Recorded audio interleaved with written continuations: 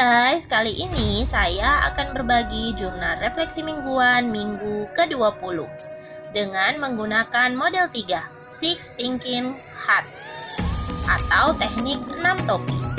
Perkenalkan, nama saya Isnawati, guru SMP IT Ibnu Sina Merauke, calon guru penggerak Angkatan 3 Kabupaten Merauke. Yang pertama adalah topi putih yang berisi fakta. Pada minggu ke-20 ini, saya masuk pada materi yang baru yaitu materi 3.2 yang merupakan materi yang membahas tentang pemimpin dalam pengembangan sumber daya. Pada bagian mulai dari diri, saya diminta untuk menjawab beberapa pertanyaan untuk merefresh pengetahuan awal tentang ekosistem sekolah dan peran pemimpin dalam pengelolaan sumber daya. Pada bagian eksplorasi konsep, saya mendapatkan materi tentang pengelolaan sumber daya dengan dua pendekatan serta pemahaman tentang aset-aset yang disebut sebagai modal utama. Kemudian, saya mulai memahami sumber daya yang ada di sekolah dan mengevaluasi pemanfaatan sumber daya, serta saya juga memahami cara berpikir dengan pendekatan berbasis aset.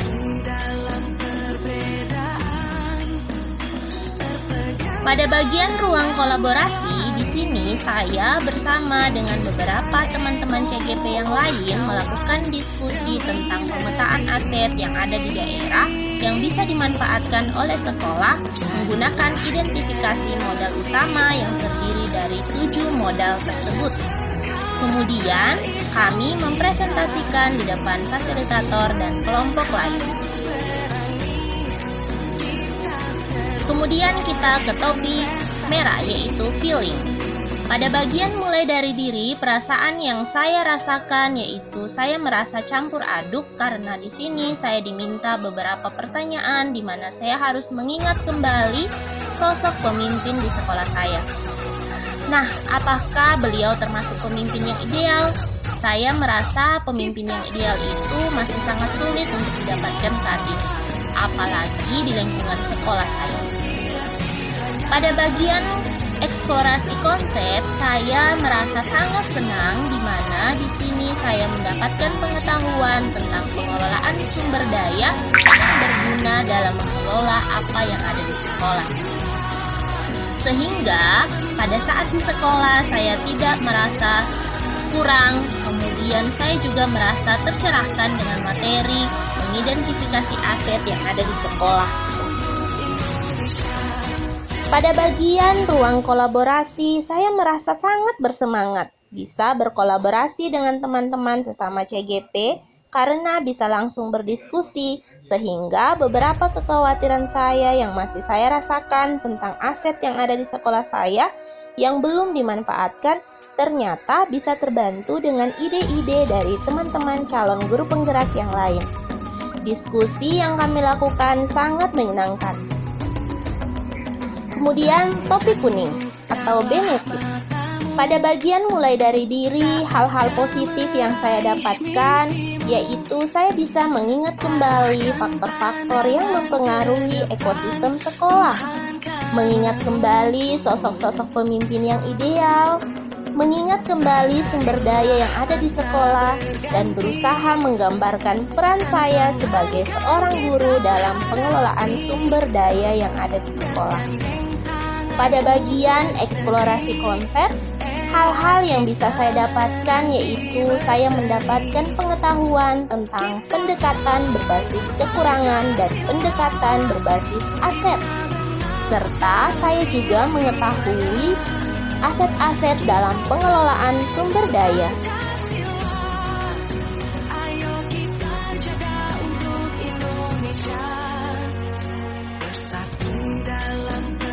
Kemudian, pada bagian ruang kolaborasi, saya menemukan hal-hal positif, antara lain mengetahui tentang aset-aset yang ada di sekolah saya dengan melakukan identifikasi serta bagaimana memanfaatkannya.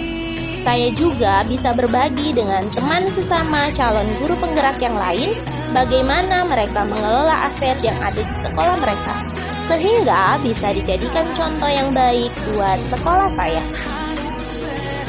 Lanjut ke topi hitam, question.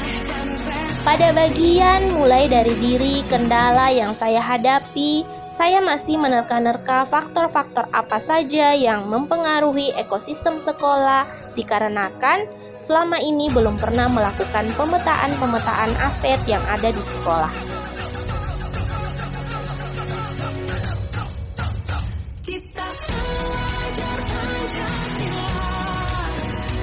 Kemudian, pada bagian eksplorasi konsep, saya tidak menemukan kendala yang berarti, dikarenakan materi yang diberikan begitu jelas dan langsung mudah dipahami. Sehingga kendala-kendala yang tadinya mungkin ada, hilang begitu saja ketika menerima materi dan memahami apa yang dijelaskan pada materi tersebut.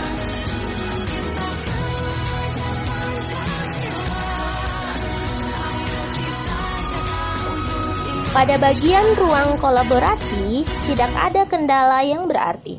Hanya saja resiko yang akan saya hadapi ketika mengidentifikasi aset yang ada di sekolah saya. Di situ saya merasa bahwa harus terus mengembangkan kemampuan yang saya miliki. Sehingga ketika mengidentifikasi aset, saya menjadi salah satu aset yang bisa dimanfaatkan oleh sekolah.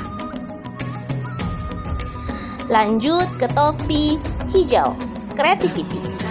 Dari tiga peristiwa yang saya hadapi di minggu ini, saya menemukan ide-ide yang bagus. Yang pertama adalah saya memulai untuk memetakan atau mengidentifikasi aset yang ada di sekolah saya.